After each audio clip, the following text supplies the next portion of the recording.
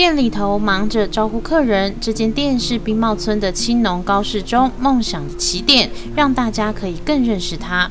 虽然家是在金峰乡冰茂村，但从小就在外地长大的他，从军职退伍之后，决定回到这个最熟悉却又陌生的地方，重新来认识冰茂村。呃，我之前的职业是职业军人，然后在四年前，因为家里父母年迈，然后需要有人回来陪伴他们，那所以我们兄弟兄弟姐妹们一起来的开了会，就决定是由谁来回来。当时因为呃在工作上碰到一点瓶颈，就所谓的一个倦怠期，然后又碰到父母需要人陪的话，然后就自然而然的就由我来这边决定回来。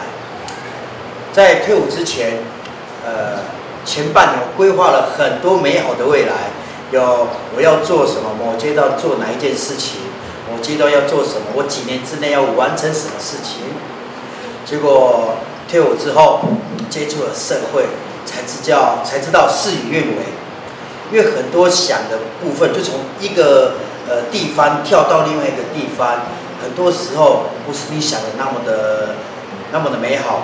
加上，呃，我在高雄出生，高雄长大，没有地缘关系，也没有很多呃呃了解这个部落、这个村庄，或是整个呃大环境，却到处碰壁，呃，做什么都做不对，做什么都做不好，那有很多人的一些好的谏言呐，或者是关心，我都觉得那时候在讽刺，他都在笑我。所以那时候也涨了很多次。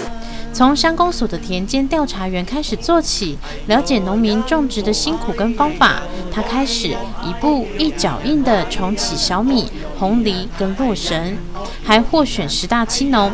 一路跌跌撞撞，也曾经不被看好。有一次因缘际会之下，呃，我进了金峰乡公所，当了一个田间调查员，就是每天骑着摩托车，骑骑骑骑骑。骑到这个田里面问这个阿公，你今年种什么？骑到这个田里面问这个阿妈，你的红梨有没有生病？哎，骑到这个呃另外一家说，哎叔叔，你学你的虫多不多？在这个时间之内，呃，我我看到了很多部落的一些农特产品的一些行销问题，还有生长的技术，还有。很多呃需要我们改进的部分，这个也是我退伍之后完完全全没有规划说我会务农的地方。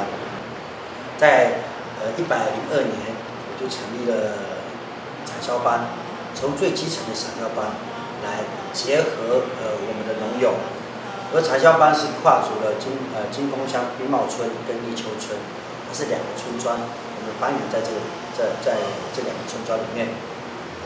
我们从最基本的生产，怎么让产量来增加，人工降低，怎么样让我们的小米、我们的农作物，呃，精致化包装。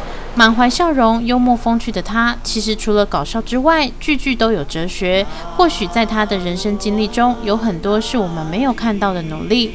今天在自己的家乡开了一间店，他说：“这里就是故事的开始。”突然发觉。嗯对，我们呃有的时候太依赖了政府的资源，很少人从口袋里面先拿东西出来。越你拿从口袋里拿东西拿钱出来之后，因为这个钱是你花的，越很很注重这个后面的绩效。当初我们才花了二十万把这间店呃稍微整理之后。呃，我们有多少钱做多少事？这家店整一整要花好多的钱。那时候我们是二十万，先初步的呃原型，之后你你赚一点钱，我们多开了一点，赚一点，多增设一些设备。后续我们还有很多的部分要增加，但是这个后续，因为我们不是一口气把钱全部拿出来，有多少钱做多少事。来到这里，欢迎找他聊天，他很乐于分享他所知道的一切。小店说小不小，里头有满满的创意与能量，把故乡文化缩影在里头。还有伴手礼，你可以喝饮料，或者是参加游程。高市中的热情招呼，相信你可以真正认识农作物特性之外，也会爱上他的故乡。东岸宣布张武在金峰乡的采访报道。